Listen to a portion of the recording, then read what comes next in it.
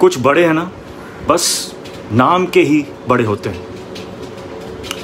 इन बड़ों को जगाना है। दोस्तों, बॉलीवुड के किंग खान यानी कि शाहरुख खान की फ़िल्म डंकी और साउथ सुपरस्टार प्रभास की सालार जल्दी फ़िल्म सिनेमाघरों में रिलीज़ होने वाली है। लेकिन दोस्तों, आपको बता दें कि फ़िल्म 22 दिसंबर को सिनेमाघरों में रिलीज़ होगी। लेकिन इसको लेकर फैंस में अभी से ही एक्साइटमेंट देखी जा सकती है और फ़िल्म दोनों को ही लेकर लोगों में काफ़ी ज़्यादा उत्सुकता हो रही है। एक तरफ़ लोगों का मानना है की फ़िल्म सालार अच्छी कमाई करेगी, जबकि दूसरी तरफ़ लोगों का मानना है की फ़िल्म डंकी भी पठान और जवान के साथ साथ एक हज़ार करोड़ का कारोबार कर ही लेगी। लेकिन दोस्तों, आपको बता दें इन सभी के बीच अब बॉलीवुड एक्टर ऋतिक रोशन का ही बड़ा बयान सामने आया। ऋतिक रोशन ने अपने बयान में कहा, फ़िल्म सालार डंकी का इस वक्त काफ़ी ज़्यादा क्रेज देखने को मिल रहा है। अभी फ़िल्म में रिलीज़ होने में एक महीना बाकी है, लेकिन इन दोनों ही फ़िल्मों को लेकर लोगों में बच बना हुआ है। लेकिन इस बात में कोई भी शक नहीं की फ़िल्म सालार और डंकी में डंकी ही ज़्यादा कमाई करेगी, क्यूँकी शाहरुख खान ने इस साल की शुरुआत में पठान से एक हज़ार करोड़ कमाए, जबकि जवान से भी एक हज़ार करोड़ के पार कमाई कर ली है। तो इस बात को भूलने की भी ज़रूरत नहीं की फ़िल्म डंकी भी एक हज़ार करोड़ के पार करेगी। क्योंकि बॉलीवुड के किंग खान यानी कि शाहरुख खान ही एकमात्र ऐसे बॉलीवुड स्टार बचे हैं अब, जिनकी फ़िल्में ना कि भारत में, बल्कि विदेशों में भी चलती हैं और एक बड़ी तादाद में फ़िल्म अपनी कमाई करती है, जबकि सालार का कोई भी मुकाबला नहीं है डंकी के आगे। सालार के मेकर्स को इस बात का ध्यान रखना चाहिए कि शाहरुख खान के सितारे इन दिनों बुलंदियों पर है और शाहरुख खान को हराना मुमकिन ही नहीं, नामुमकिन है। तो दोस्तों, इस तरह से सालार और डंकी पर अपने विचार व्यतीत करते हुए ऋतिक रोशन ने भी अपना बड़ा बयान जारी किया। बारह दोस्तों, आप ऋतिक रोशन के इस बयान पर अपनी क्या राय रखते हैं? आप हमें नीचे कमेंट में ज़रूर बताइएगा और ऐसी ताज़ा खबरों से अपडेट रहने के लिए आप हमारे चैनल को ज़रूर सब्सक्राइब करें। धन्यवाद।